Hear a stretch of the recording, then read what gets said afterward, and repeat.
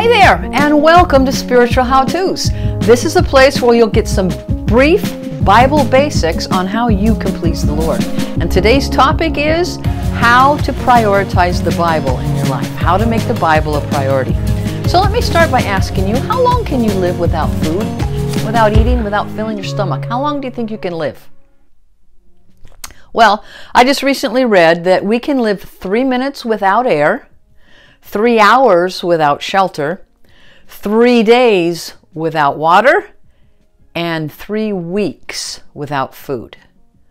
So I guess we can live three weeks without food. Maybe, and I think the same can be said of our spiritual life, our spiritual food. Maybe we can live three weeks without being fed spiritually. I think it could be true. Um, remember, Jesus said, I am the bread of life. He who comes to me shall never hunger, and whoever believes in me shall never thirst. And then he also said, I, excuse me, no man can live on bread alone, but by every word that proceeds out of the mouth of God. So we feed spiritually on the word. That would be on Jesus and his words and his life. That's our bread. The teachings of Jesus would be our bread, would be the food that we live on. But Jesus said that's not all. But we live on every word that proceeds out of the mouth of God. Well, what is that? That means the whole Bible. We live on the whole Bible from cover to cover, from book to book. Excuse me.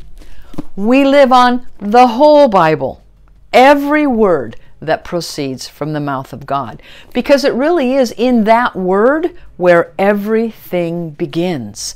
Everything begins in the word. Our life begins in the word, our joy begins in the word. It's the word that brings life to us. The word does. Understanding it, applying it, living it is what brings life to our life, purpose to our life. May I suggest an, an analogy here? An analogy? Let me put this down. Thank you. Um, just like we eat bread, okay? When we eat bread, we eat it. And so it goes in our mouth, we eat it. So when we eat spiritually, I'd like to suggest this analogy that we eat it, we eat the bread, the word, we digest the word, and then it becomes part of us. Just like bread. We eat it, we digest it, and it becomes part of us, right? So the same thing can be true of the word. We eat it, we digest it, and it becomes a part of us. And it's that daily Bible reading that really is necessary for it to become part of us, for us to live a life that's pleasing to the Lord. We read the Bible, we know the Bible, and it becomes a part of us. Paul said to Timothy, he said, Hey, study to show yourself approved of God. How do I show that God approves of me as I study the Word? Well, then how do we do that? How do we study the Word? How do we prioritize the Word of God? How do I make it a part of my life? I want to offer you four steps for your consideration in pri- prioritizing the Word of God in your life. Number one, first step, I believe, begins with making a decision. If we're going to prioritize the Word in our life, we have to make a decision to eat. We have to make a decision that the Bible is important. Um, we have to be intentional about it. You see, you and I do what we think is important. And if we go through each day without eating any word, it's not going to change until we decide we need to feed our spirit. It starts with a decision. And if we've already been feeling hungry, maybe we're already dead, maybe we haven't eaten spiritually for a very long time, it's going to be harder to make that decision. I'm going to be honest. But we won't give up. We won't stop. Don't stop trying because we need life, we need sustenance, we need joy, we need purpose. So, number one, set a time to read the Word. I'll be honest, there I've known the Lord for over 50 years. There have been seasons in my life when the word was not a priority. Okay? It's just fact. Okay? And then there have been seasons of my life where the word was a priority. It, you are going to have seasons. There are going to be times like that. But as we're seeking to mature, which is what we talked about last week, then we want to set a time, make it a priority, make a conscious, conscious, intentional decision to spend time eating the Word. So that's number one. Make a decision, make it a priority. Number two, eat the Word. Eat it. That's the second step. Eat it. That means read it or listen to it. Maybe you're not a reader. Maybe you want to listen to it. Do it. But I want to insert a, a caution here. You, we need to be reading and listening to the actual Bible, not devotionals about the Bible, not reading other books about the Bible. Reading other books about the Bible is not reading the Bible. And it's the Bible, it's the Word of God that will feed us. It's not devotionals written by other people. Sorry if I stepped on toes, but it's the truth. So you're going to need a Bible app or you're going to need a Bible. If you're going to read the Bible or listen to the Bible, you're going to need a Bible, right? A Bible. You're going to need one, okay? And you're going to need to to use it. So, with that thought in mind, I want to give you some things to consider in regards to the Bible, okay? And and these is just informational things to help you consider some things you need to keep in mind when selecting a Bible or about the Bible. First of all, please remember that the Bible was originally written, the Old Testament was originally written in Hebrew and Aramaic. Those are the original languages. The New Testament was originally written in Greek. Well, because most of us don't speak Hebrew, Aramaic, or Greek, we have to have the Bible translated so we can understand it. Does that make sense? Sure, it does. So it makes tons of sense that we need to have the Bible translated. Well, the confusing part is there are over 400 different English translations for the Bible. And that's where some of us go on mind tilt because there are so many translations. I do want to tell you, though, that most translations, if not all, I would have to say, all translations are translated for accuracy and understandability. They translate the original languages to make it accurate to the true text and to make it understandable to those of us that don't speak it. So please be confident that the translations are both accurate and understandable. With that in mind, let me tell you that there's three different kinds of translations. Okay? The first kind of translation is called a formal translation. Now, what that means is that it's translated kind of word for word. So, if the original says this, then the translation tries to copy that word for word idea formal, word for word translations. Now, Bible translations that use the formal translation are the King James, the New King James, the Amplified, the ESV, uh, the NASB, and the RSV. All of those use word for word translations. Nothing good or bad about either one. It's just a form of translation. The second kind of translation is called a dynamic translation, and that means it's translated thought by thought. In other words, they don't tear apart every single word, they take the whole thought and then they translate the whole thought. That makes sense? Thought for thought. Okay, that's called dynamic. Some of the translations that use dynamic translation are the NIV, the NLT, the CSB, the HCSB, the NRSV, and the NCV. All of those mean certain things. You can look them up. I don't need to go into all of them, but there's certain translations. And they are going to use the dynamic translation, the thought for thought. Then there's a third kind of translation, and it's called a free translation. That means it's a paraphrase. They take the old uh, verse and they go, hmm, what are they really trying to say? And then they translate it in a paraphrase. Makes sense? And we love the paraphrases because they're easy to understand. Okay?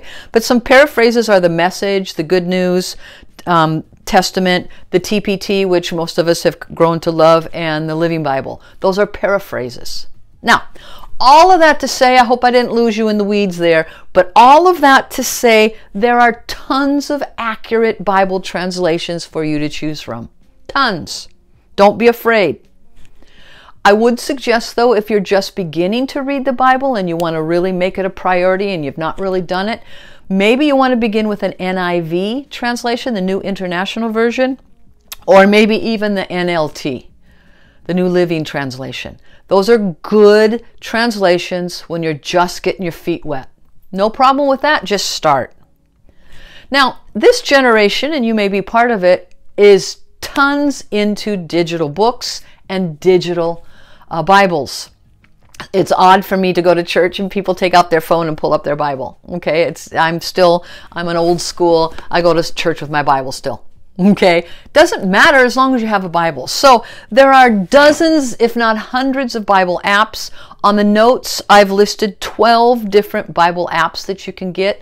I want to just highlight a couple of them. You can get the Bible, the verse of the day, and that way it'll bring up a Bible verse and give you some uh, meat about that Bible verse. Those are really good. Another one would be The Bible Is. It's an audio translation where maybe you don't want to read, you just want to hear the Bible. That's a good app. So The Bible Is is a great app. Um, Our Daily Bread is a Bible app that gives you Bible verse and then information and inspirational thoughts about that Bible verse. One I love and use almost every day is called the Blue Ribbon Bible oh, excuse me, the Blue Letter Bible. The Blue Letter Bible. It's a good study one. If you've if you've walked in the the Word a long time, you might want to have that handy. I use it for reference nearly every day. The Blue Letter Bible. It's for in-depth Bible study. The Bible Gateway is a good one. YouVersion is a good one. Um, but check them out and read the Bible on your phone if you want, or listen to it. It's an app or on your iPad. The point is, my friend, we need to be eating the Word, right? eating the word. I'll tell you, on my Bible, on my bookshelf in my room, I have 11 different Bibles and then several more just Bible portions. That's great, yay! No, it's not. It means nothing unless I'm using them. Okay? So the key is whatever is going to get you to use it, to read it, is what you want to do. Okay, so once you have a Bible, where do you start? right? That's the next question. Where should I start? There's a lot of choices, right? Well, if you're a new believer or you're new to reading the Word, I would recommend starting in the Gospel of Mark. Why? Well, because remember, Jesus is the bread of life. So we need to know about Jesus, about his words, his life, his actions. No place better to find that out than in the book of Mark or maybe the book of John. And once you read through those, then go to the other Gospels. There are four different Gospels. If you spend a whole year of a, your life reading nothing but the Gospels, it is a year well spent because you're learning about Jesus. You're eating Jesus' words, digesting them, letting Jesus' life become part of your life. It's a good, good habit. Well, uh, I would also suggest beyond the Gospels, maybe some in the book of Proverbs. The Pro- book of Proverbs. I have nearly every day of my life used um, reading whatever date it is, that chapter in Proverbs. So today is today is the 21st. So I read this morning Proverbs 21. On the first, I read Proverbs 1. On the 40th, oh, there's no 40th. Um, but Proverbs is a good place to read. Um, if you're a growing Christian, you've been mature for a while, then you should be reading the epistles, you know, Ephesians and Philippians and Colossians and James. Um, get into some meat of the word. Um, Psalms is always a good place to read.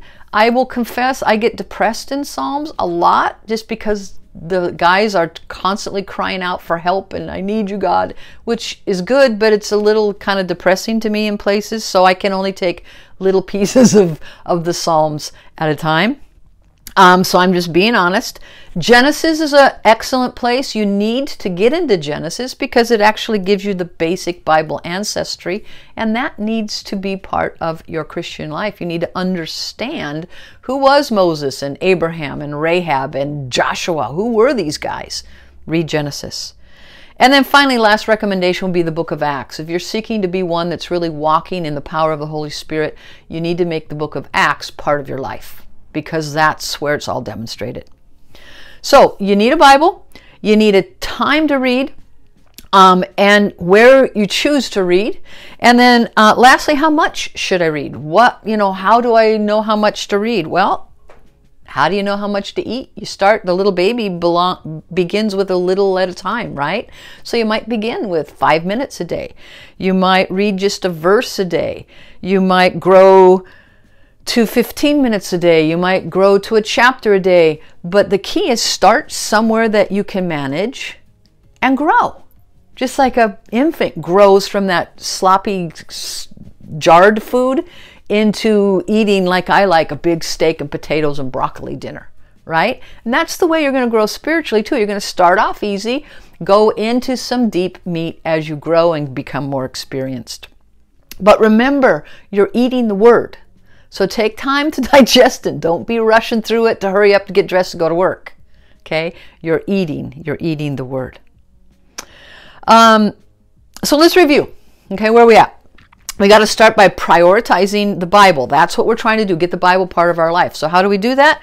We make a decision, we eat it, and then we eat the bread. We find a place to eat it. Well, then the third step is to digest it. Once I eat it, I need to understand it. I need to meditate on it. I need to know it, maybe memorize it, mull it over, question, reflect, compare, ask questions.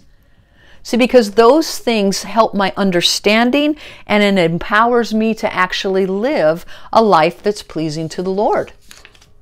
Right? But I have to understand what I'm reading. Let me give some Bible verses to you and then we'll be wrapping this up. The Bible says that thy word have I hid in my heart that I might not sin against God. So as we hide the word in our heart, it keeps us from sinning. It's an alert, it's a conscious voice. It's a it's a red light that flashes as we hide the word in our heart. The word also says is a lamp to our feet. It's going to guide our path. As we're in the word, that word will guide us through the day. We already referenced 2 Timothy about studying to show ourselves approved.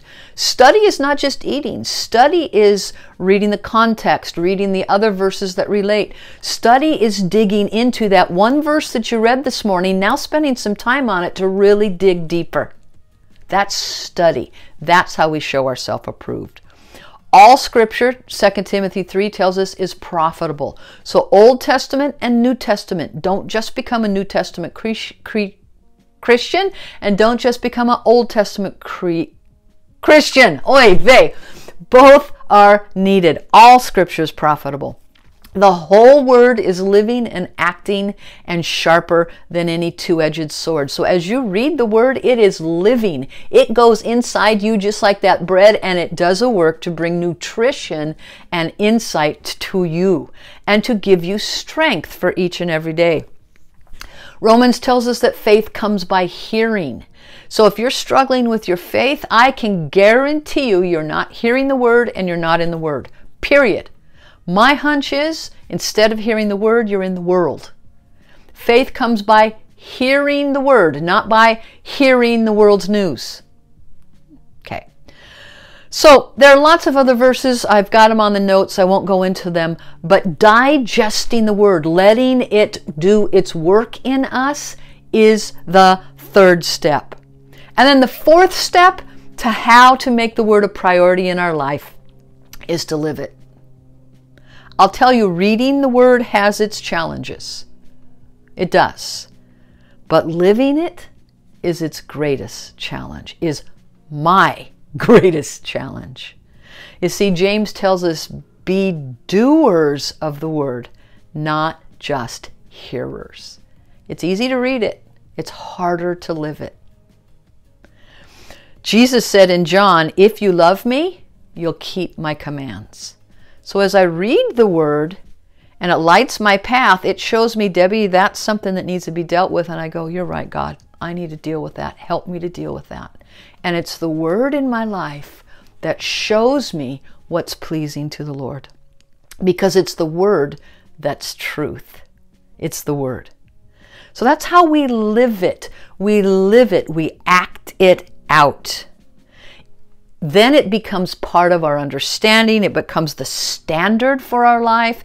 It becomes the priority in our life. The Word becomes actually the lens through which I see the world then as we grow in it and as we feed ourselves spiritually, we are changed because we're digesting Jesus and we're living Jesus.